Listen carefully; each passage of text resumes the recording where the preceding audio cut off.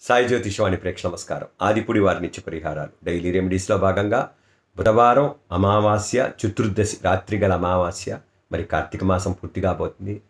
మరి విశాఖ నక్షత్రం. మరి ఈరోజు ఏమి చేయాలి?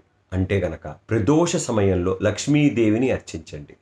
ఎవరైతే ప్రదోష సమయంలో లక్ష్మీదేవిని అర్చిస్తారో లక్ష్మీ అష్టకం కనకదారా స్తోత్రం శ్రీ సూక్తం లక్ష్మీ అష్టోత్తర శతనామ స్తోత్రం లక్ష్మీ అష్టోత్తర శతనామావళి లక్ష్మీ ద్వాదశనామ స్తోత్రం. ఏదైనా సరే లక్ష్మీదేవికి సంబంధించిన స్తోత్రాలు పారాయణం చేయండి. సాయంత్రం పూట ప్రదోష సమయంలో లక్ష్మీదేవి అనుగ్రహం కలుగుతుంది.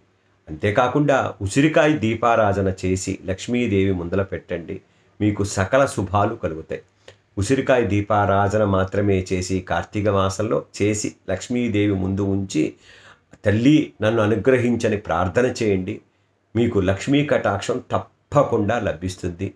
ఈ మరి ఈరోజు చతుర్దశి మరి శివుడికి ప్రీతికరమైన అమావాస్య రాబోతుంది కాబట్టి చక్కగా రాత్రిపూట శివనామస్మరణ చేయండి. మృత్యుంజయ మంత్రం ఓం త్రయంబకం యజామహే సుగంధిం పుష్టివర్ధనం. ఊర్వారకమివ బంధనాత్ మృత్యోర్మృక్షేయమామృత ఈ మహామృత్యుంజయ మంత్రాన్ని ఈ అమావాస్య రోజు జపించండి. అనంత కోటి ఫలితాలు పొందండి.